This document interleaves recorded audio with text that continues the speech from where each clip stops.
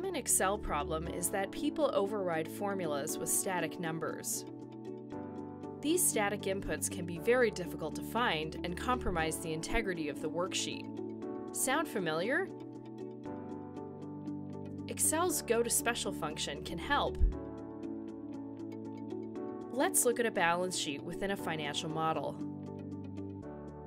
At first glance, it appears to be working correctly because it is balanced. But how do we know if any cells contain static values? Let's use the Go to Special tool to find out.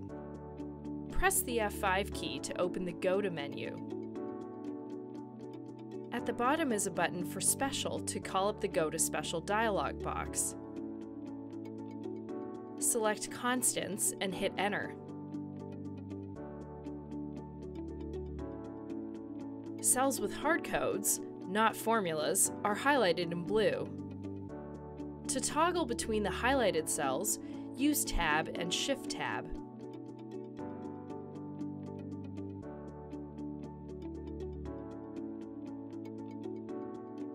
We expect historical numbers to be entered directly, but this cell in the forecast has been hard-coded.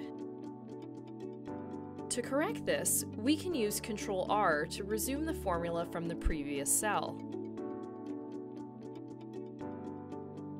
There is still one more static number on the balance sheet. Let's find it using the same steps as before, but only search for numeric values.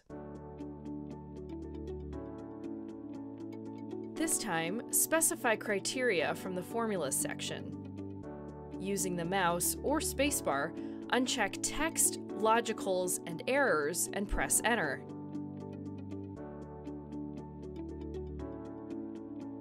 Only numbers are highlighted.